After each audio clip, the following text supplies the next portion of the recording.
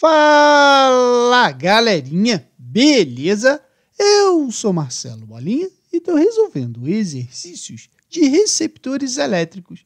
Eu vou fazer agora a seguinte questão. Considere os gráficos a seguir.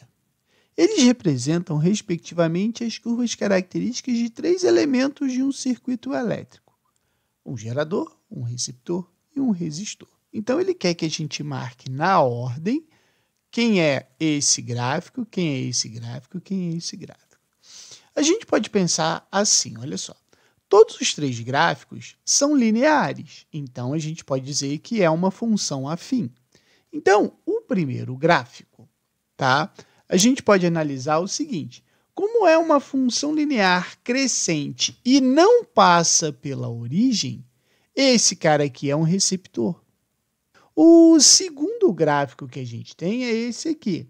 Note que a, resist a DDP, né, ela está diminuindo à medida que a corrente elétrica vai aumentando. É também uma função linear decrescente.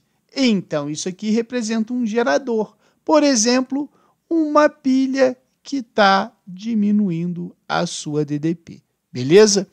E por último, a gente tem esse gráfico aqui, que é um gráfico de função linear, função afim, que passa pela origem e vai crescendo. Então, é um resistor. Então, com isso, a gente tem o que?